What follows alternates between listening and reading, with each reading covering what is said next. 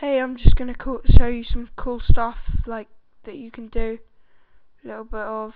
So first, go onto your start menu, and then if you've got Vista, type in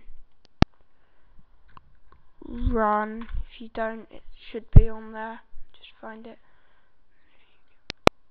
Run and type in either CMD or command. Okay. But command like might not always work, so just use CMD and then this is pretty cool. Bit. Right. Type in then the D I R the space slash forward slash S and then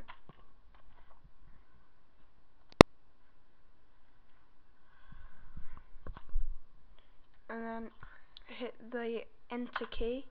It should do that, which is just like summarizing up all of the stuff you've ever done on the computer, all of the dates, stuff like that. So,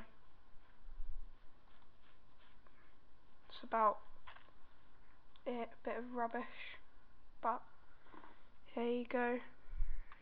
Thanks for watching and please do subscribe.